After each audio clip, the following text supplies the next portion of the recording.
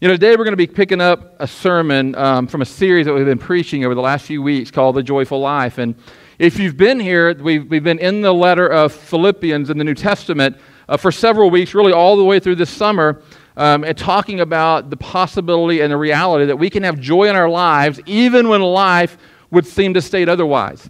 Um, and that's, that's a really good truth, right? Because my life and your life doesn't always go as planned, right? I mean, I don't know about you, but every now and then my week kind of falls apart by Monday about 9 a.m. Anybody else, right? You, you know what I'm talking about. And sometimes, if you're not careful, we'll get into this cycle of thinking, well, the only way that I'm going to be happy, the only way that, way that I'm going to really have joy in my life is I'm going to change all my circumstances. I've got to make everything on the outside better, and then I could actually be happy. And, and it'll rob us sometimes years of our lives because we're chasing things in this world trying to make us joyful when God has shown us all along there's way to joy, and it has nothing to do with the outside, it has everything to do with who you are on the inside. And it has all to do with Christ and how you've let Him work in your life. And, and, and so we've talked a lot about different aspects of joy as the Apostle Paul speaks from prison in this particular letter to the church at Philippi. And um, and last week we talked a lot about joy in your confidence, the confidence of your salvation. Where do you stand with God? And, and my prayer and my hope is that today, if you were here last week, or even if you had weren't, go back and listen and make sure that you can say, like Paul, that I don't have confidence in the things that I've done. I can only have confidence and hope in what Christ has done. And my salvation doesn't hinge on me, praise the Lord, because I know me. It hinges on the work of Jesus Christ on the cross of Calvary and three days later when he rose to, from the dead. That's where our hope lives in or comes from. And today we're kind of taking the second step of that particular passage uh, because we were in chapter 3, verses 1 through 11 last week, and we're going to be in verse 12 through 16 this week, kind of picking up that same train of thought because Paul knew that people uh, were working, trying to make themselves right with God, make themselves right with God. And so Paul is going to try to clear up for them the difference between being made right with God and living a righteous life. There is a difference, okay? Now, now a righteous life should follow a right relationship. But the right relationship is step one.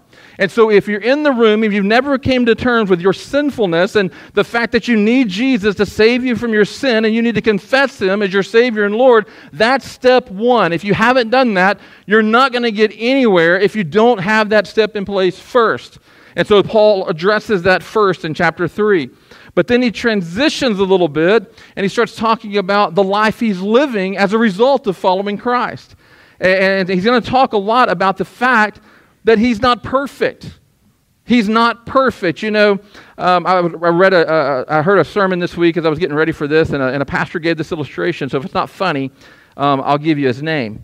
Um, but he said this. He said, you know, there was a guy that went to a psychologist one day, and he said, you know, I'm afraid that I'm suffering from an inferiority complex. I, I just don't know. I just don't look at myself right. I'm just really worried about the way I view myself. And the psychologist said, well, that's serious. Let's, let's start testing. And so they start putting him through kind of the, the, the, the, the, the I guess, a gamut of tests and questionnaires, and, and, and they, they send him home with homework and to, to fill out some things. And he comes back the next week, and the psychologist goes, Well, I got good news and bad news. I said, Well, what's, what, what is it? I Well, the good news is you don't suffer from an inferiority complex. He said, Well, what's the bad news? You're just inferior. And so, so the reality is, though, today, is that some of us probably, when we live the Christian life, we, we found out pretty early in our journey that it's difficult. That to walk in the ways of the Lord, even as a believer, even once you're right with God and you're standing and you're righteous before Him, you still have a lot of working out of your salvation to do as you live the rest of your life. And, and if you've done it very long, you're going to find out very quickly that because you accept Christ doesn't mean that now you're perfect. You've only made good decisions, right? More of my bad decisions in my life were made after I knew Christ than before. And that's because I was saved as a kid, right? So I've had a lot more practice. And I hope that my life is different because of Christ, no doubt. But I still would say that the Christian life is difficult. Keeping my tongue tamed is difficult sometimes. Treating my spouse well is difficult sometimes. Um, handling my money with integrity and generosity is, is difficult sometimes. To walk in the way of the Lord is challenging at times. And the problem is, is when we start realizing that we're, uh, we're, we're not everything we wish to be, there's about three different ways we can go with it. Number one, a lot of people just kind of get sidelined. Well, I guess I'll just never be good enough. Because we live in a world where everybody's projecting their very best, right? Everybody's always done this, but nowadays, instead of it being at the coffee shop or at the country store, everybody's on Facebook or, or wherever presenting the best version of themselves. But I can tell you, as someone who's been in ministry a long time and as someone who's walked this earth a while, I've learned that everybody has a story and everybody has something they're not proud of. And everybody's life is not hunky dory and perfect as if, you, as if it looks like online. We all have challenges. And what happens is that when we begin to look at people around us, we compare ourselves, and pretty soon we, we kind of just sideline ourselves from the things of God. And we become second string believers where we believe that the real Christians are out there making ground and, and, and doing great things for the kingdom of God. But I guess we're just kind of second best because, and we're second rate because we struggle in some things. And that's one version, or uh, one direction you can go when you realize that you're not perfect. When you have to start dealing with imperfect actions, some people go the opposite direction. They just say, well, I'm just, that's just a mere trip up. I just made it as an accident. You know, it's not really who I am. I just made a mistake. And the problem with that is we begin to excuse our sinfulness sometimes and our, our struggles as just mere accidents, but really that's just driven by pride. A lot of times that's just driven by pride and not wanting to admit that we are still a work in progress. And lastly, I think a very common when you see in our generation, especially as Christians, is you see people that just go ahead and embrace them. And they say, that's just me being me. And I'm just being real. And here's my struggles. And we have this realness movement, if you will. And it's not all bad, but the realness movement some, sometimes falls short because it puts a premium on being real, but discounts the call to be holy. And so people are real, but they're just real messed up and there's not really any progress being made in their life because they've owned that they're struggling with this and this is just who I am. The problem with that is God loves you as you are, but he don't want to leave you that way, right? And so this, this is fueled by ignorance, not by pride, not by shame. You see, sidelining is shame, excusing is pride, but sometimes the realness movement is just driven by ignorance of the things of God and what God has called us to be and to do in our lives. Well, today we're going to talk about joy in the context of finding joy in our imperfection. Finding joy in imperfections. The Apostle Paul in chapter 3 here um, has been talking about, all the way up to this point, about justification. Now, this is going to be a big theological word, right? Justification. To be justified before God is to be made right. When God sees you, he sees that you are in a right standing with Him. And Jesus Christ accomplishes justification by paying the price for your sin and my sin on the cross of Calvary and us accepting that gift by faith. That's how we are made justified before a holy God. But, but after we are justified, and, and the Pastor Jeff talked about this a few weeks ago, we go through a process of sanctified. We got to be sanctified. There is a process of our lives now being taken from the kingdom of darkness and lining up with the kingdom of light. And while we may be right before God, we still wrestle with the flesh and we still live in a fallen and broken world. And we have to live in this world and we still have to struggle with the things of this world. And so we need God's help as we are sanctified and made more like Jesus Christ in His image. And then at the end of that, and, and really that's what we're going to talk about today for these last for these next few verses. But at the end of chapter three, Paul goes from talking about being sanctified in that process to talking about being glorified. That is when you are made perfect before a holy God. And that happens at the death of a saint. That happens at the death of a believer, right? Because we are raised and we walk in newness of life. When we baptize people, we are recognizing that we have been buried with him. We are dead to our old, to our old self. And we are symbolically saying, but we believe in faith that Christ is raising us to newness of life. And we begin to walk out a shadow of that life now. But when we die and we are resurrected into heaven, we will be glorified and made perfect in that moment, not just in our right standing before God, but in our actions as well. That's how this process works. And this is all part of the grace of God and how He works out in this salvation experience. And so we are made. Is that rain? Oh, Lord. I'll tell you. Y'all want me to keep preaching now, don't you? I'll tell you, some of y'all need to get on your knees because you've been praying for this one, right? I'll tell you. Well, that's what we get. It slowed down. So. Man, I've got all sorts of jokes that I can't say right now. Anyway, um, so Paul is talking to his audience, the Philippian people, about this process. But he's also addressing another issue. There's an issue in this church and in the churches in that day and age where people were believing that they were already perfect in their actions. And so, and we don't know if it was a mix of Judaism and Christianity saying, well, if you want to be really perfect, I mean, then, then you, you, you got to be circumcised and follow Christ. Then you can actually be perfect. And, and there's even some beliefs out there in churches today that would teach that once you're saved, you're perfect. Well, the reality is, is we're simply not. And, and you don't have to look around you to know that. If you're a believer, all you got to do is look in your own backyard to realize just because I'm saved doesn't mean I'm perfect in my actions. Amen? All right, so that's what Paul's kind of addressing. And so he picks it up here in verse 11 and kind of addresses this, and in the process teaches what it looks like to have joy even in your imperfections. And look at what he says in verse 12. Not that I have already obtained this. What's he talking about the this? Well, if you look back at verse 11, he's talking about the resurrection from the dead. He says, I'm not already there. He says, or I'm already perfect, but I press on to make it my own because Jesus Christ has made me his own. Brothers, I do not consider that I have made it my own. But one thing I do, forgetting what lies behind, straining forward to what lies ahead, I press on toward the goal for the prize of the upward call of God in Christ Jesus. Let those who, of us who are mature think this way, and if anything you think otherwise, God will reveal that also to you. Only let us hold true to what we have attained.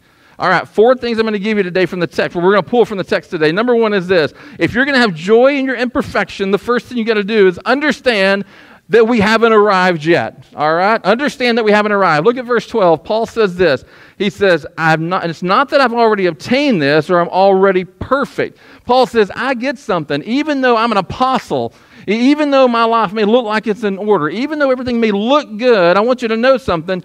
I have not arrived to perfection. There is work to be done in Paul's life, and Paul knows it. And that's important, okay? Because I think a lot of times, if we're not careful, once we're saved, we think, whoo, good, now everything is done. I want to tell you, when you become a follower of Jesus Christ, that is when your journey is just beginning. That is when the work is just starting. That's when God brings you into his kingdom and now is going to make you a catalyst to do the work of the gospel message, uh, spreading that around the world. Your work has just begun when you accept Christ as your Savior. That is not the end game, that's the beginning point of your faith. And I want to tell you the reason that's important is because in churches a lot of times we take such make such a premium on getting people to come down in an aisle and pray a prayer or to get in the baptistry, and then after that it's like we don't really do anything else with them. What a travesty! Because that is where the work really begins in the life of a believer. And if you don't understand that you haven't arrived, you're not going to understand that you have a great need to keep on pressing forward in the things of God. Now, now here's the thing is when you look at Paul, we're not looking at some rookie. We're looking at someone who's probably been in ministry at this point 20, 25 years. The Apostle Paul has planted churches all around the known world. By this point, the Apostle Paul has preached to tens of thousands of people by this point. At this time, Paul has already had a personal discipleship journey in Arabia with Jesus himself. If anybody could say, I kind of got it figured out, I think Paul's the guy that could do it. He, he wrote much of the New Testament. But even Paul, doing all of that and experiencing all those things, says this I'm not there yet. How many of us really get that? I'm not there yet.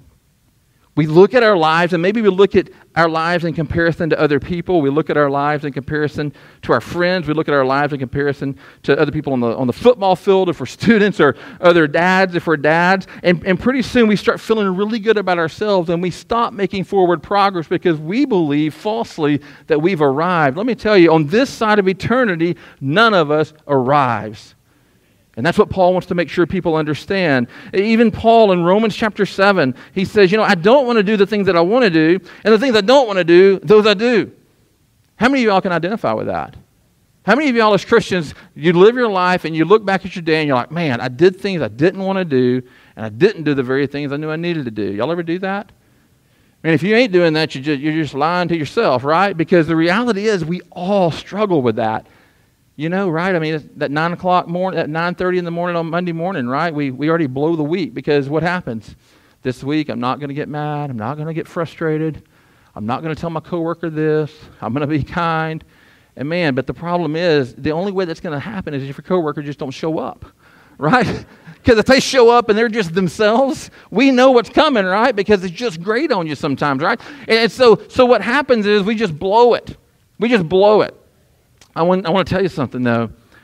It's, it's, not, it's not good, and we can celebrate that, but it is healthy to recognize that, that I'm not there yet. I'm not there because, because here's what it should do is number one, we don't need to buy the lie that we'll be perfect in practice just because we're a Christian. Because I think a lot of people come to Christ, and one of the things I try to encourage people as they come to Christ, I try to remind them, hey, look, tomorrow you're going to go out, and you're still going to have some of those same irritations that you've had before. Tomorrow you're going to go out, and your little sister's still going to make you mad. She's still going to annoy you, right? I mean, it, it, wouldn't it be amazing if when we came to Christ, everybody around us just became pleasant? I mean, wouldn't that be great? But they, they just they don't, right? So we're still going to have the same battles that we had the day before. And if we don't understand that, we will be dead in the water before we even start our journey of faith. Don't buy the lie that you're going to be perfectly practiced just because you're a Christian. Number two, be more gracious with others because we're all works in progress. You know, when you understand that we haven't arrived yet, it allows you to be a little more gracious with people around you. I'm great with me not having arrived. I'm not so great with you not having arrived.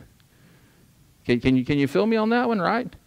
Like, I'm really good at giving myself some grace sometimes, but I'm not really good at giving others grace. Well, if we understand this truth that we haven't arrived, then it stands to reason that y'all haven't arrived, and I haven't arrived, and there's a place for grace and mercy instead of judgment and wrath so often.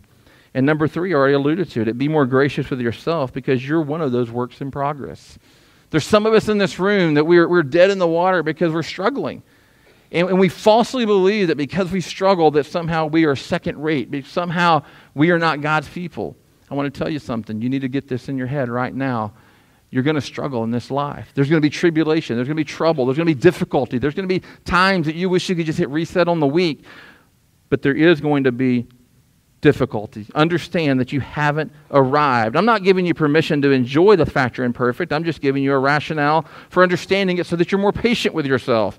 So understand you haven't arrived. Number two, if you're going to have joy in your imperfection, is number two, is you have to revel in your relationship. We don't have a lot of time, but I want you to look at verse 12, the second part. He says, I press on to make it my own because Christ Jesus has made me his own. This is what Paul's saying.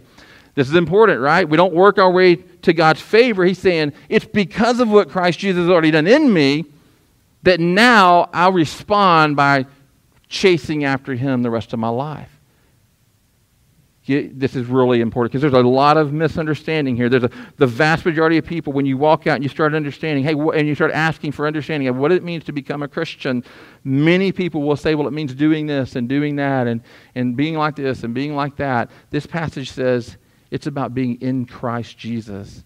And because of the work that Christ Jesus does in you, that should spur you to press on following after him. That's the order, and Paul makes no bones about it. That is the, the, the order. There is something beautiful about us understanding our position in Christ that helps us when we struggle with our imperfections. I told the students at youth camp when we were in North Carolina, one of the nights that uh, we, we kind of had a debrief time with just our church, that, yeah, I told them this, and, and I never really phrased it like that, but it's true. The two most pivotal moments of my spiritual journey the first one was when I came to know Christ as my Lord and Savior, and I was justified and made right before Holy God. That's by far number one, right? You know what number two is for me?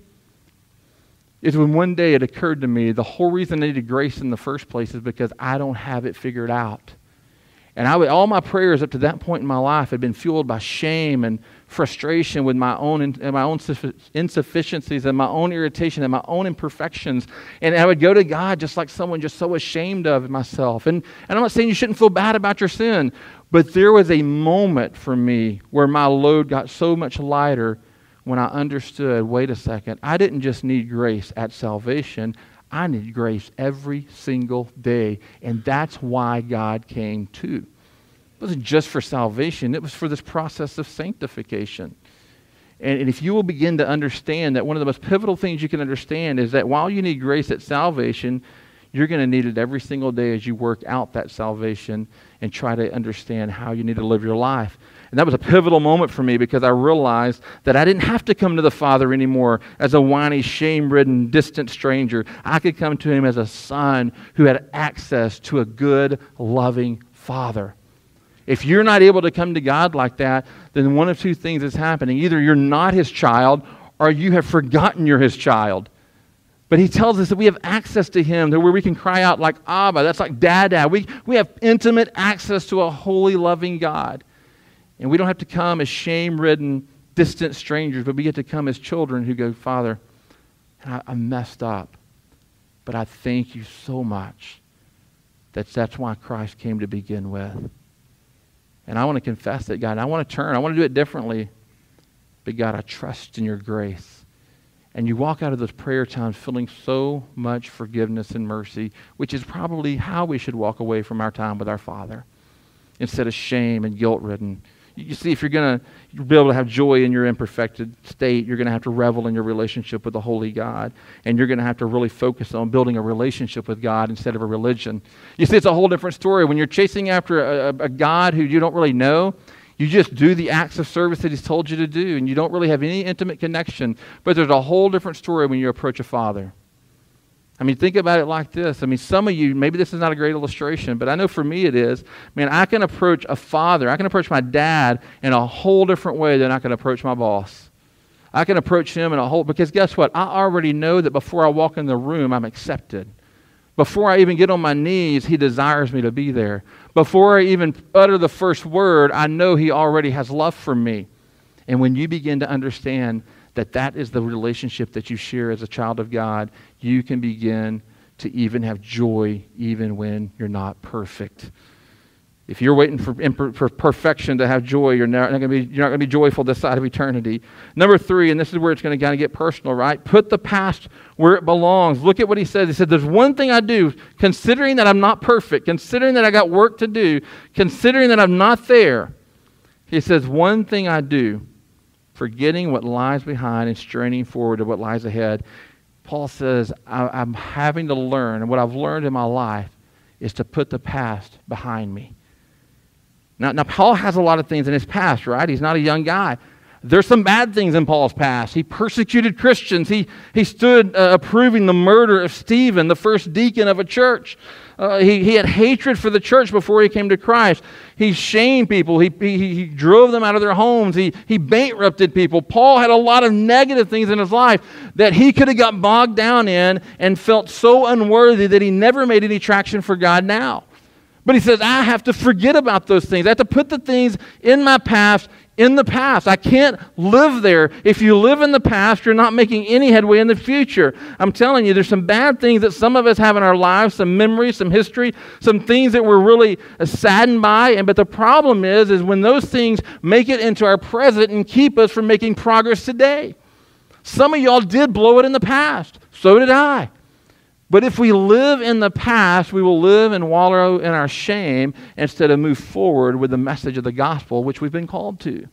Paul says, I've got to forget about some of that. Now, you can't forget it. You can't act like it didn't happen. That's not what he's calling us to. He's not saying you mentally, completely forget it. That's not possible. Because right now, if I said, hey, think about pink elephants, and then I said, hey, forget it, what are you thinking?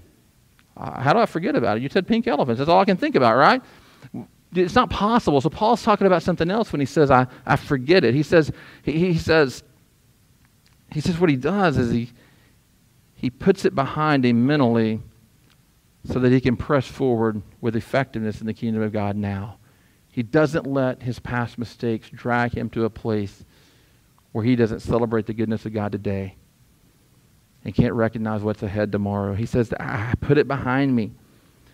So there's a lot of bad things, and some of us have some things in our past that we're not proud of, and, and they've hindered us from serving God for decades. There's some of us in this room, I guarantee you right now, that you have a shameful thing in your life that, that has been holding you back. And every time you've ever felt compelled to move forward with God, you have that nagging little voice of that thing in the past. And I'm telling you, Paul's saying, that cannot be if you're going to live the life God's called you to live. You're going to have to trust in the grace of God to take care of even the shameful things in your past. And you've got to put it in the past where it belongs. He says you've got to put some of these things behind you. But Paul also had good things. He had his achievements in ministry. He had his Damascus Road experience where he saw Christ face to face, right? I mean, his own story of all these miraculous interventions of God coming through. He had a lot of good things. He says, I put, I, I, put things in the past. I, I don't, I, I, forget these things. He said, I, I forget what lies behind, not just the bad, but the good. The, the, I, don't, I, don't, I don't rest on my laurels because of my past successes. Paul could just sit back and relax and enjoy the ride, and he would still have accomplished more than pretty much any other Christian in human history. But even Paul says there's work to be done, so I can't live in the past. I've got to live presently and look ahead. Can I tell you something? This is probably more for a church than for individual people, but for a, gr- a, church, which is a group of individuals, let me tell you, sometimes churches, we need this lesson. We, want to, we rest so much about the glory days that we forget that God is present today. And if we're not careful, we'll find ourselves paralyzed by fear of this terrifying world we live in and we will think the answer is to move backwards, but the answer is to let Christ infiltrate the body today and spread the gospel in this generation. It's important. But if we revel in the past and we, we keep bringing up what has been and what should have been and what we liked back then, what we end up doing if we're not careful is we hinder the work of the gospel today. There was a, a story of um, that I heard, and, and I didn't ask. Um, permission to share it, and I meant to get clarity, but I'm, I'm going to give you a basic version of it so, so I don't mess it up. But um, someone told me about a church they went to um, one time and um, said the, the church was having a meet about some major changes coming to their facility. And, and um, I said, you know, in this particular meeting, you know, everybody's kind of giving their opinions. What do we think? What do we think here? What do we think that? And, and, um, and so there was one older lady who was kind of a matriarch. Everybody listened to her, right? And we have those people around Prairie. We have people right now that when they stand up, uh, you know, they've had history, right? They have, we, we have evidence that they've been faithful here. And, and so when they stand up, we, we listen and we're like, hey, what, what did they think, I wonder?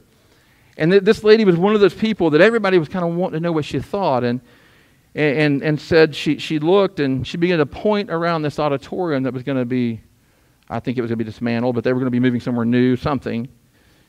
And she began to point and saying, that, you know, that's where my children were saved, and that's stood right there with my husband when this happened, and I stood here and, and I stood there, and points around this auditorium at all the memories. Says, if you pull up the carpet right over there, we etched our initials right there in the concrete. And the staff said, well, they were so deflated because obviously this is not going good for them if they want to expand the church, right? It's, it's, it's not going to be good. And then she said this But it's time for some new families to etch their name in the concrete. It's time for some families to have new memories of their place in this body of believers. And man, that one testimony of someone who said, you know what, the past was amazing. The past was beautiful. We, we celebrate it, we love it. But it's time to move forward because that's the past. And so there's a powerful testimony when the people of God understand that sometimes the past needs to be put behind us. And you know what? We don't have to talk about 50 years ago. I've been around Prairie six years now. Guess what? You know how tempting it is when we start talking about ministry? As a staff, I told them we got to stop saying things like, well, you know, before COVID this and before COVID that. And, and, you know, we were here and we were there. I said, we got to start realizing that we're not there. We don't live there. We live in a post COVID world. So we better figure out how to do ministry in this world. We don't need to look back. God has put us here today. What does it look like to serve Him now? What does it look like it moving forward?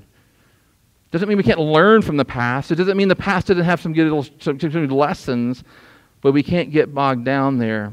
What that tells us personally is there's no retirement plan in the Christian life anywhere in Scripture. Don't get bogged down in your failures or paralyzed by the way things used to be. If you're, if you're in here and you're one of our older members, guess what? Until you draw your last breath, God has work for you to do.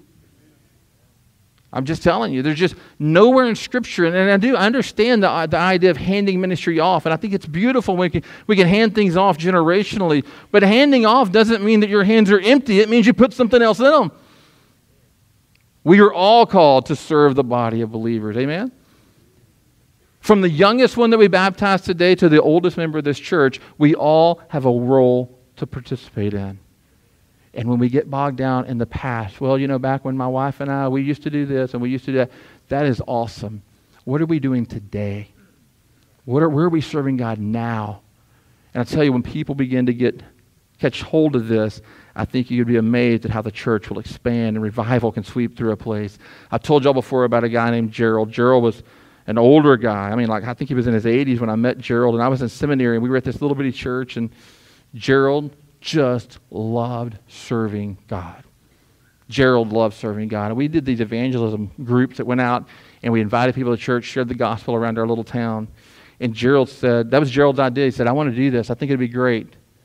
And so I got paired up with Gerald, 27 and like 87. It was something like that, right? But you know what was amazing? That's the beautiful thing about the way the body of Christ works is because we were tight. And I learned so much from watching Gerald love people in the community. And a lot of what I can even utilize today in my own ministry is a result of spending time with people like Gerald. And Gerald began to visit, and I don't know, I just felt like I needed to be quiet because Gerald had it down. And I remember our church doubled in size within two weeks. It went from four to eight. No, I'm joking. It wasn't that small, but it was.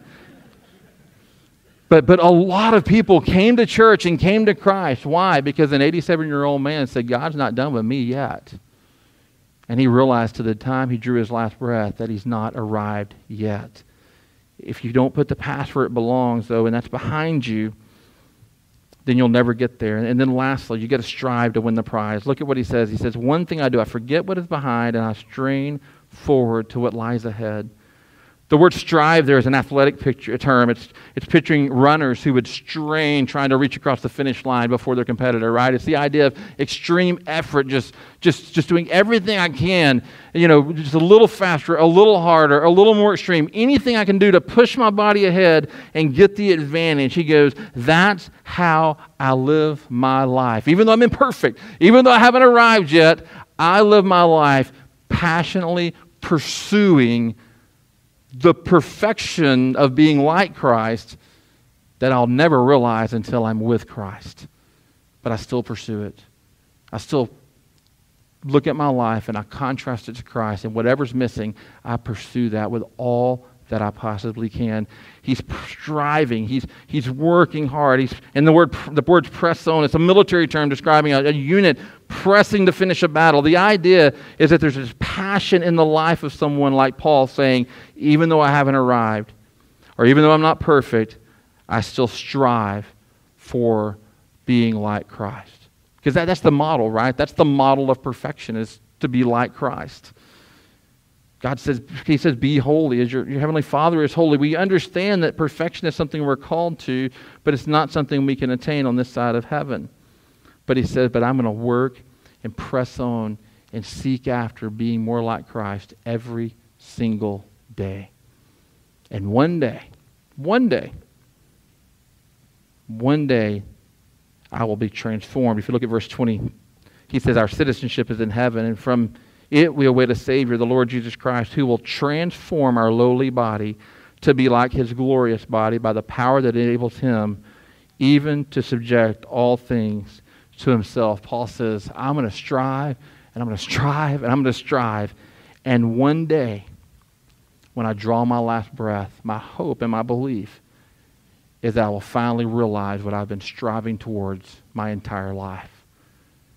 How many of us does that describe the way we live our lives. We're going to have a quick time of invitation. I'm going to get the musicians to come up. And my, my question is this as you read this, if you're like me, it's convicting. It's convicting because I realize there's some people that I should be more patient with because they're, they haven't arrived either. There's conviction there. There's conviction when I remember the fact that I didn't work for this salvation. How can I possibly think that I can work to keep this salvation? I'm secure in Christ. I am secure. And if you're a child of God, I want to tell you that. You are secure. Your hope is in the work of Jesus Christ. We're not talking about working so that you hold on to this thing. That's not what we're talking about. Paul says, it's because of him that I now do these things. It's because of Jesus Christ that I press on.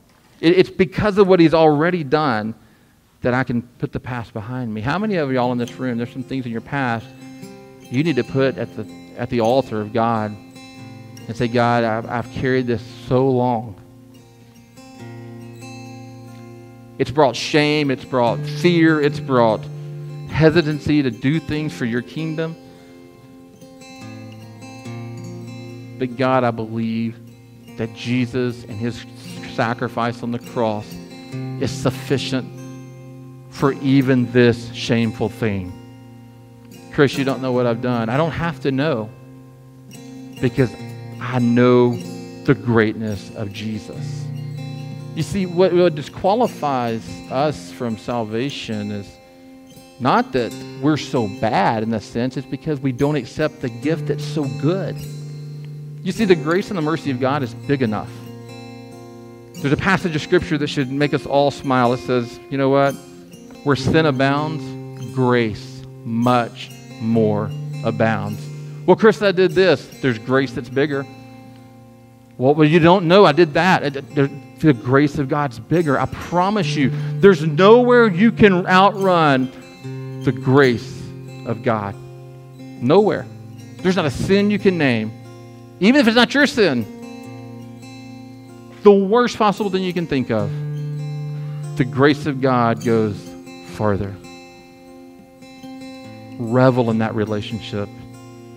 Put the past where it belongs. Trust God that He does forgive you. Confess it like He's com- commanded you to. Repent of it. Turn from it. But don't live there. And then commit your life to winning the prize. Strive like an athlete.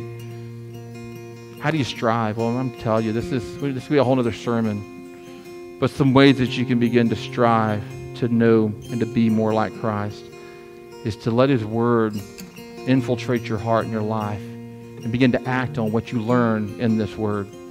That's a piece of this. God still has to give the growth, but there's a great passage that Peter tells us. He says, discipline yourself for the purpose of godliness. He's not saying that if you read the right amount of passages, you say the right words in a prayer, that your life's going to be great and holy. He's saying this. You need to discipline yourself in the things of God so that you allow God to have fresh, open channels to pour out change and transformation in your life. Can God transform you without you reading the Word? Yes.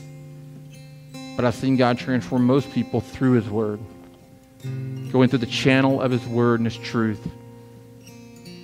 going through times of prayer where we come to Him just in prayer repetitively, day after day. God, I just want to meet with you today. I want to, I want to share where I'm, I'm struggling. God, I want to share where I'm hurting. I want to, I want to confess some things to you, God. I want to, I want to worship you. Worship. I'm going to tell you, if you're not worshiping, you're probably not winning. You really, we must worship as a part of our daily lives as much as we possibly can. Just coming before the throne, recognizing who God, who God is. And if you've ever experienced this, you know what I'm talking about. If you ever just had a really bad moment, day, whatever it is, and you've tried everything you can to get out of it, right? And I will wiggle out of a problem as much as I possibly can. I will think about all the things I'm going to say to that person to straighten this up, to straighten that out. And I just can't get this incredible weight of frustration and, and, and, and anger or whatever it might be off. And I've got a road that I have to walk on. And if you ever see me out there and I look crazy, I'm probably just praying. Probably just had a bad day, you know, and I'm, I'm really having to worship today, you know, because I'm really struggling. And you worship your way out of that. You ever done that? God, you are so good.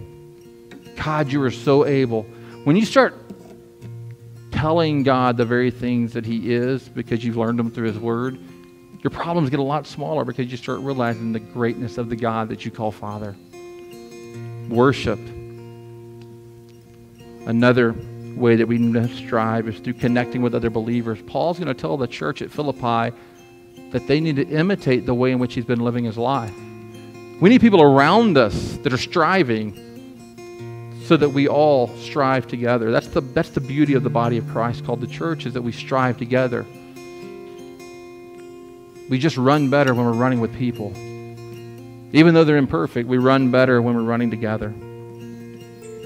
Get in the Word, pray, fellowship, connect with other believers, worship the Lord. And we could go on and on. But those are some key points to striving if you're going to strive for the prize. So I don't know how God's maybe spoken to you through this sermon. Maybe, maybe it's nothing. Maybe He has. I believe He has. I think there's some of us in this room, though, that we need to put some things in our past. We need to look to the future. And we need to serve God in the present. And if God has just laid upon you anything you need to pray about, you can use the altar. I'll pray with you here. Pray where you are, but don't leave this room without doing the business of sharing with God how your response should be with what He showed you today.